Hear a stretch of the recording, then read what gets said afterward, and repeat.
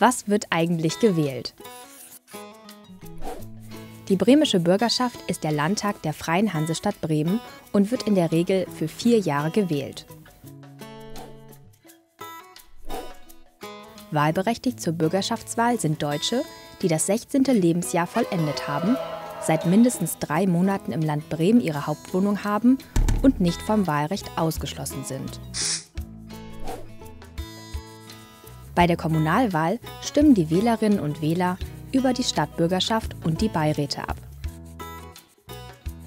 In Bremerhaven wird die Stadtverordnetenversammlung separat gewählt.